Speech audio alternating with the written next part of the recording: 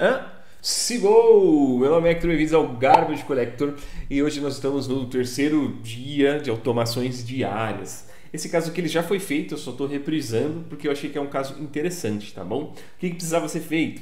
O time de DBAs lá do cliente tinha Oracle, SQL Server e Postgres e eles executavam uma série de queries nesses bancos de tempos em tempos. Então nós automatizamos isso para que as queries sejam, sejam feitas e isso seja enviado por e-mail, tá bom? Uh, e aí, em vez de criar uma playbook para cada banco, eu criei uma, uma única playbook e com base em variáveis a gente muda a execução da, do que a playbook vai fazer e executa, por exemplo, dentro do, do Postgres, ou dentro do Oracle, ou dentro do SQL Server, tá bom? No meu exemplo aqui eu vou utilizar MySQL, Postgres e MongoDB, ou MySQL, né? MySQL Pony. E como que funciona, pessoal? A gente pode conectar um banco a partir da nossa máquina e conectar no banco externo. Só que normalmente a gente ia precisar criar um, um container ou uma máquina que tem esses binários. Então, nesse caso, a gente resolveu simplesmente ir até a máquina do banco, fazer a consulta por lá e depois baixar o arquivo, tá bom? Ao invés de fazer a consulta por fora, porque ia ter que mexer em Fire ou coisas desse tipo, ao invés de fazer a consulta por fora e depois e, e, já ter o arquivo local, porque iria ser baixado via stream, tá? Então vamos lá, como que está o meu ambiente aqui, ó?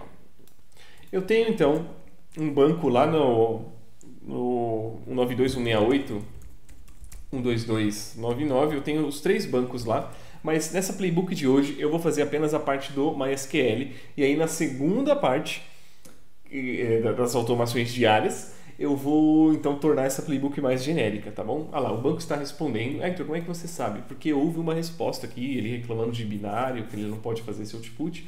Não tem problema, tá? Eu posso até, vamos forçar ele aqui, ó. Vamos ver o que, que vem daqui. Aí, ó. Uma resposta do MySQL, tá bom? Aqui tem o cabeçalho, do MariaDB no caso, né? Aqui tem o, um cabeçalho do, do próprio protocolo do MySQL falando que você enviou os pacotes fora de ordem. E de fato nós enviamos, porque nós fizemos uma requisição HTTP e ele não vai entender e aí ele retorna isso aqui, tá? Isso aqui é o protocolo interno do MySQL. Beleza. Então meu banco está lá, está funcionando, ele está aqui, né? Como a gente, como eu já falei. E eu tenho aqui um diretório chamado queries que tem todas as minhas queries. São queries bem simples, tanto que a do Postgres e do MySQL elas são similares, porque é, é baseado na base de dados do MySQL Sakila, só que aqui no Postgres é a DVD Rental, mas é Sakila a, a base de onde ela se originou, né? E eu tenho uma query aqui para o MongoDB. Uma query, tá? Para buscar lá os filmes do Senhor dos Anéis. Hoje, hoje eu vou focar só na do MySQL, tá bom? Então olha só, veja que tem um comentário aqui, ó. Qual que era a ideia? Como aquela, aquela, aquela playbook que eu desenvolvia lá ela ia puxar é, os dados e salvar em um arquivo CSV, esse arquivo CSV ia receber esse nome que está aqui, ó. O próprio Ansible ia arrancar a primeira linha, ia tirar esses dois tracinhos que são comentários no SQL, tá? Esses comentários no caso do MongoDB, mas aqui para padrão SQL é traço, traço, espaço. O Ansible ia tirar isso aqui, ia converter os espaços por um tracinho, ia colocar aqui ponto .csv. Então a gente já tem o nome do arquivo como um próprio comentário na, no arquivo de query. E por que um arquivo de query e não uma query? Porque as query, é uma, não uma query digitada, passada ali na plataforma, não, no Ansible Automation Platform ou na WX, ou não por menos Z no Ansible, porque são queries muito grandes, tá bom? Queries que seriam assim constrangedoras ter que passar elas por aqui, ou, ou criar um arquivo de variável, não tem problema. Mas lá as queries já eram arquivo, eles já tinham esse arquivo e a gente seguiu dessa forma. Eu acredito que seja uma, uma forma legal também, porque nós podemos é, colocar isso no repositório junto com o código da Playbook. E aí, caso os DBAs queiram fazer uma modificação na query, eles não precisam entender nada de Ansible, eles só vão lá e modificam a query no, no repositório, que é como ficou. Beleza? Então vamos criar essa primeira conexão. Ah, outra coisa.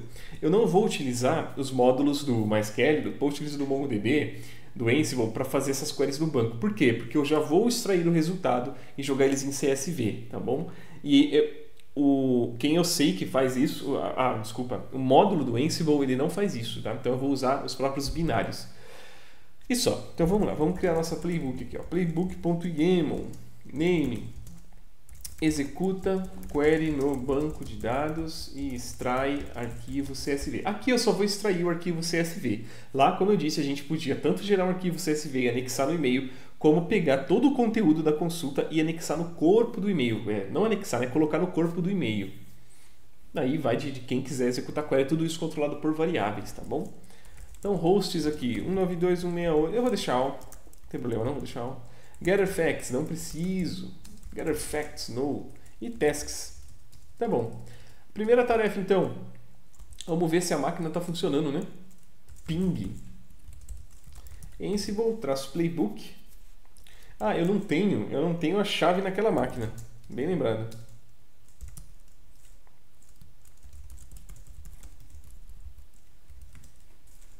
Sim. Pronto.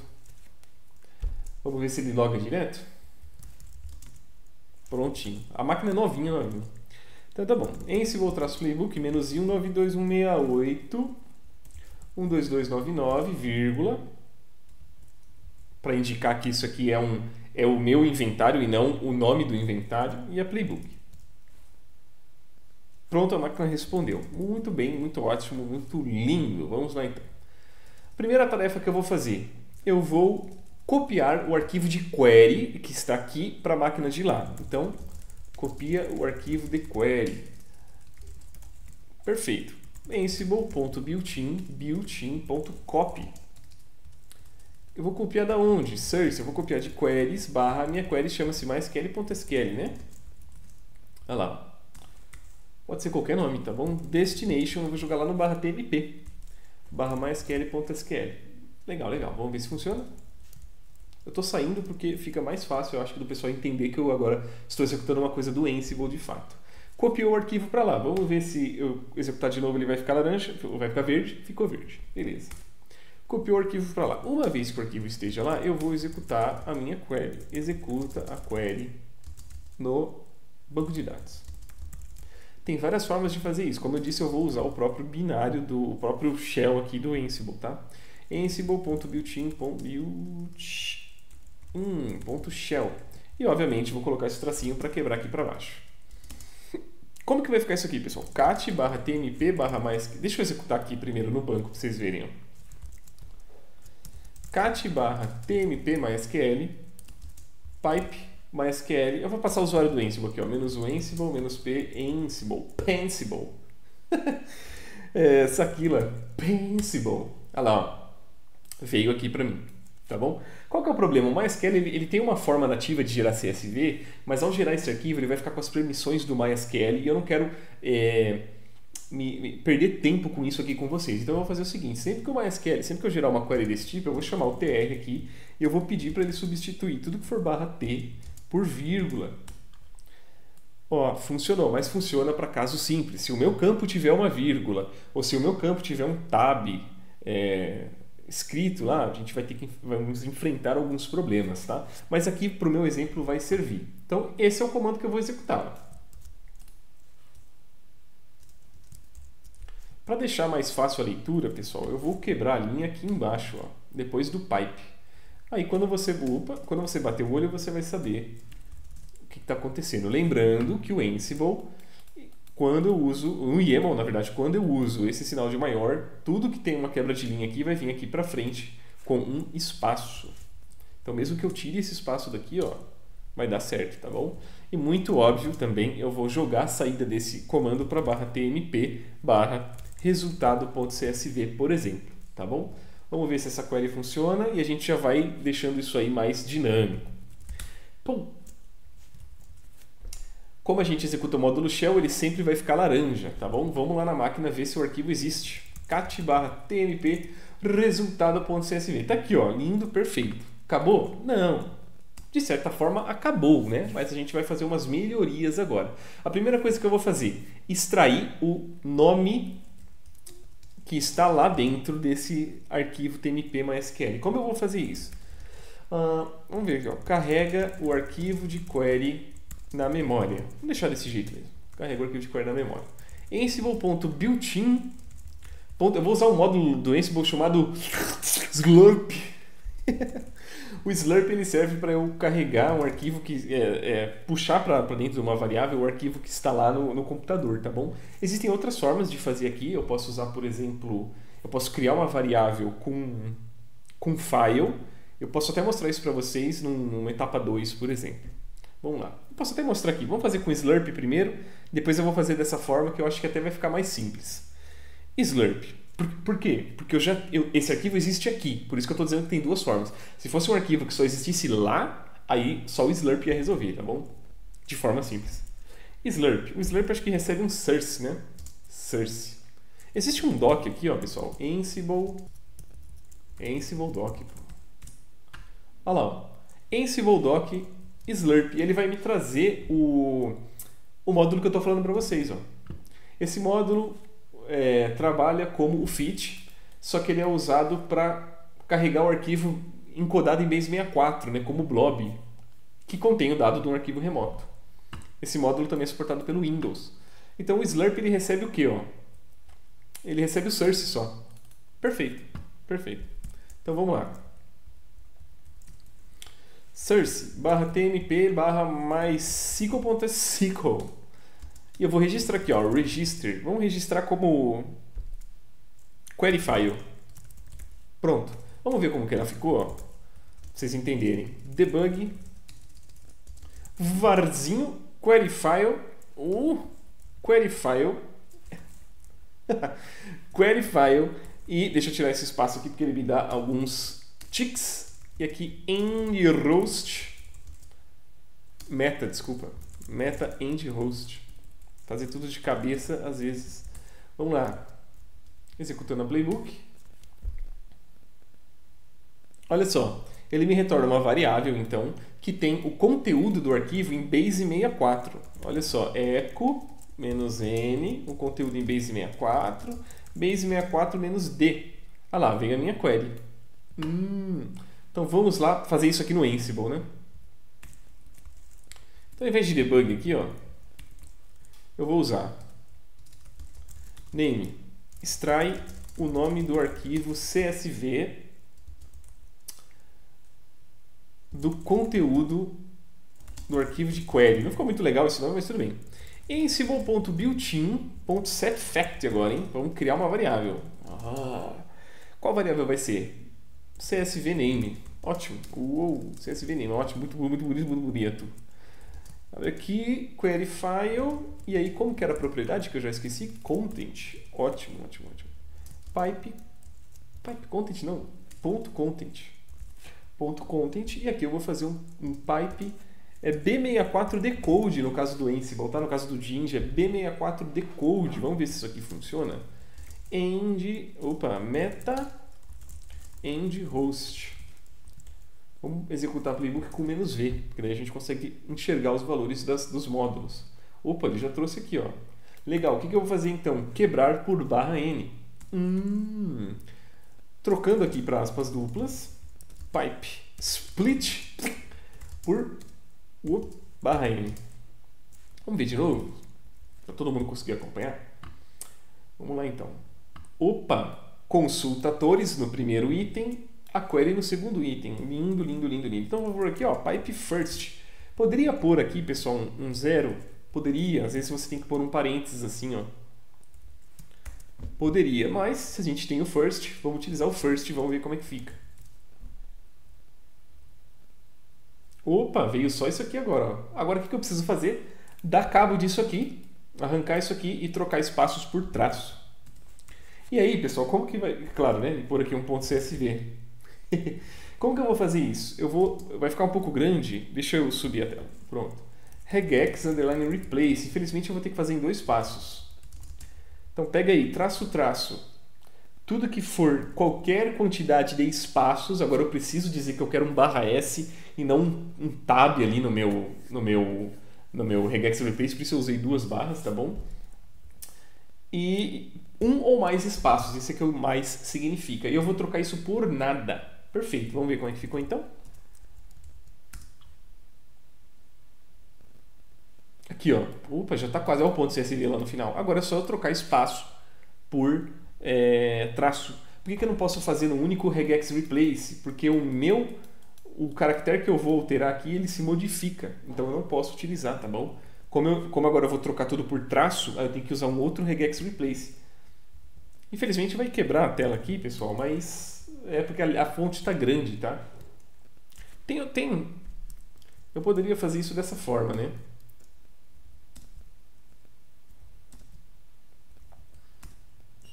Olha só. Eu, particularmente, eu não gosto muito dessa abordagem aqui, mas acho que didaticamente isso aqui é melhor, tá? Uh, me dá até um frio na espinha, mas vamos lá.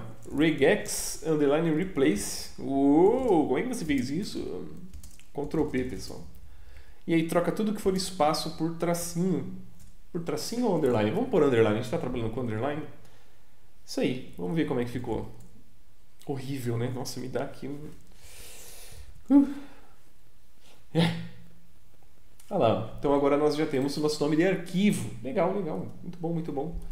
Então CSV, vamos colocar aqui, ó, em vez de CSV name, CSV name, tá bom, name, tá bom. Então aqui na saída, eu vou falar para ele então jogar esse, esse cara em tmp barra csv underline name. Oh, interessante, né? Já está ali certinho. Tira o end host.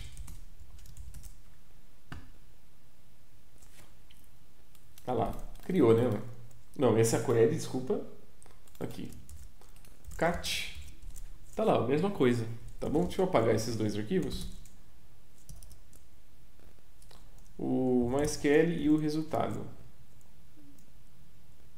Qual era o outro que eu tinha deixado? Resultado, tem, tem razão. E aí o outro é consulta autores. Eu tinha até esquecido. Resultado e consulta atores. Legal, legal, legal. Pronto. E agora, o que a gente pode melhorar na nossa playbook? Vamos lá. Ficou um pouco grande, né? Depois que isso aqui... Ah, o Slurp ele vai carregar um arquivo, vai transformar em Base 64 e isso não é muito legal, tá? Por que, que eu estou falando isso para vocês? Porque a gente tem que passar aqui por uma desconversão Base 64. Isso não é necessário, porque como nós temos o arquivo aqui conosco, olha só, eu consigo fazer um set fact e já carregar esse arquivo e trabalhar com ele aqui nessa pipeline é, sem necessariamente é, sem necessariamente sem ainda ter jogado ele lá para o servidor. Então eu consigo pular etapas. Eu, que, que, etapas eu vou pular? Eu não vou precisar fazer é, eu não vou precisar carregar o arquivo na memória com Slurp e eu não vou precisar fazer o B64 decode. Como eu vou fazer isso? Vai ficar assim, ó. Name. E já vou por direto, ó. Extrai ansible.builtin.setFact. Qual fato? CSV name. Até aqui, tudo igual. Deixa eu até copiar aqui, ó. 1, 2, 3, 4, 5, 6. Até aqui, tudo igual. O que, que vai mudar aqui, pessoal? Aqui eu vou usar, vou chamar um plugin com lookup. O lookup ele é um tipo de função no Ansible que executa na máquina local. Isso é importante de lembrar, ele executa na máquina local. Então o lookup ele serve para executar coisas na máquina local. Que coisas? Comandos, é, carregar arquivos, templates na memória, trazer, é, criar, como é que posso dizer? Eu, eu, crio muitas vezes strings aleatórias com o lookup.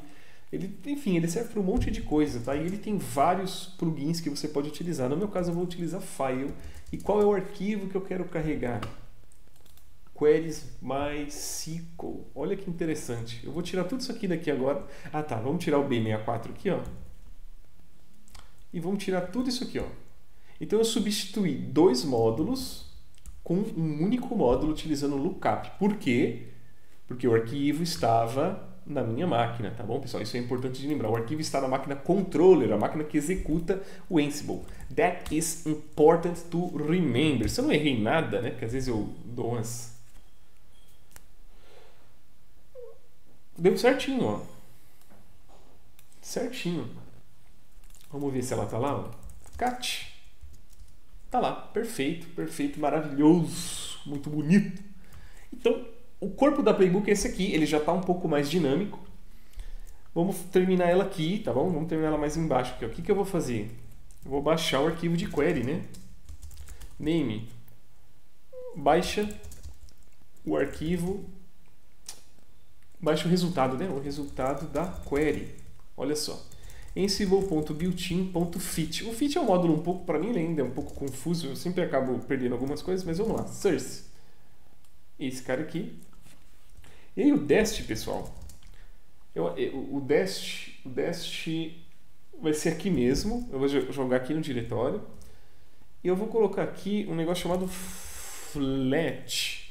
Deixa eu fazer o seguinte. Ansible doc fit. Porque ele tem um, um, uma flagzinha lá, uma variável que a gente precisa fazer alguma coisa. Dest, Dest é o diretório que ele vai salvar, então eu vou usar ponto mesmo. E é flat, ó. Flat, se eu não me engano, tem que ser true. Default é false. Se você não passar flat, ele vai colocar o nome, o, o host name, ele vai criar uma estrutura de diretórios que tem o host name da máquina junto. Não é isso que eu quero, tá bom? Então flat no meu caso é false. Baixa o resultado da query. Vamos ver se ele vai baixar aqui então.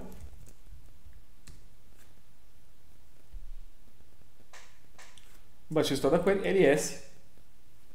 Opa, olha só, ele fez, ele, ele acabou colocando ali fez o que eu não queria. Deixa eu ver aqui se eu consigo corrigir isso. Oh, flat é true. Flat é true e eu falei que era. Eu não lembro o que eu falei, mas eu errei de qualquer forma. Pelo que eu li, na... com o que eu li na documentação aqui, o padrão dele é false e ele tem que ser true. É, eu devo ter me confundido. Vamos lá. Bom, deu para ver o que, que acontece se você fala, passa que o flat é, é, é true, né? Uh, opa, opa. Dest is an existing directory. Use trailing slash if you want to fit search in that directory. Perfeito. Ponto barra, né?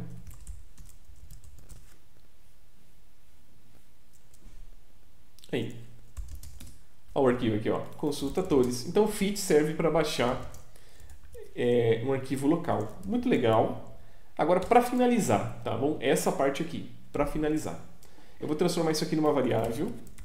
Mas antes de transformar numa variável, vamos limpar o servidor. Como assim? Se eu executar alguma coisa aqui depois do copy e ele der algum problema no banco, uh, o arquivo vai ficar lá no TMP isso não é legal. Tá bom? O que, que eu vou fazer então? Eu vou criar um bloco aqui, ó. Block. Bloco pode ter nome, eu não vou colocar nome. Vamos inventar isso aqui. E aqui no final do bloco eu vou colocar o seguinte, ó always. Ou seja, sempre que sempre que acontecer algum problema, eu vou tentar limpar os arquivos. Olha só. Name, deixa eu subir aqui, ó. Name. Apaga os arquivos temporários. Temporários. Que arquivos são esses? Vamos lá. ansible.builtin.file. Hum, eu tenho um path e eu tenho um state, que se eu quero apagar, ele é absent. E aqui, loop, loopzinho, loopzinho. Eu vou fazer um loop nos dois nomes de arquivo. Quais nomes de arquivo? Este e este. E aqui vai ficar item, né? Perfeito, vamos ver. Uh. Ah! Aqui. Aqui precisa de aspa também, ó. Vamos lá. Então, ele, mesmo se der erro ou não, ele vai tentar apagar o arquivo. É, Hector, mas e se ele não gerou a query? Ele vai tentar apagar a query também. Não tem problema, pessoal. Lembra que o Ansible ele é idempotente. Então, se o arquivo existir ou não, o, tudo que você quer é garantir que ele não exista. Né? Aqui, no meu caso, eu estou garantindo que ele não existe. Então, se ele existir ou não, não vai dar problema. Não vai ter problema. Muito bom, muito maravilhoso. Vamos lá, então. Apago os arquivos temporários P, vamos ver se limpou mesmo? Vamos lá na máquina. ls barra tmp. Nada, nada, só o socket do MongoDB e os negócios temporários do systemd. E o arquivo está aqui, ó. Continua aqui. Claro, ele ficou verde porque não baixou. Perfeito. Para finalizar, então, vamos transformar a query numa variável. Então, aqui, ó. Deixa eu só copiar esse valor já. Perfeito. Eita, acho. Vamos lá. Tec, tec, tec, tec, tec query file. Lá no, no, no, no que eu fiz, poderiam existir várias queries, tá? Mas aí fica exercício para vocês aí. Ele, ele executava várias queries. É bem, bem interessante. Opa.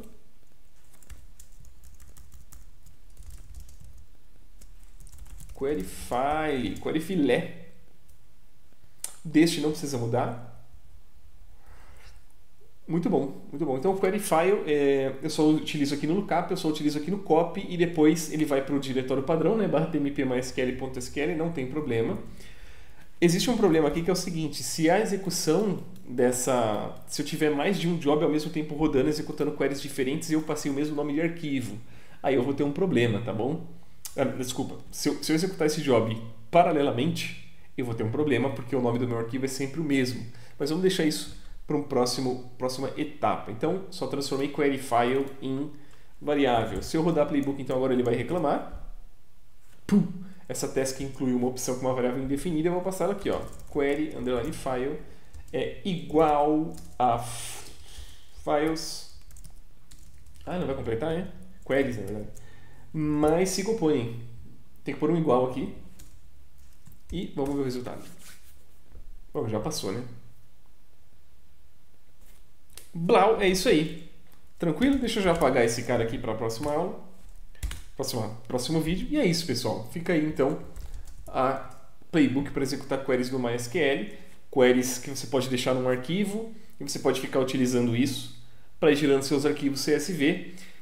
E a gente melhora essa playbook aqui, então, na, no próximo vídeo do automações diárias, senão vai ficar muito grande. Então, não tenho como finalizar o vídeo, então vejo vocês no próximo vídeo.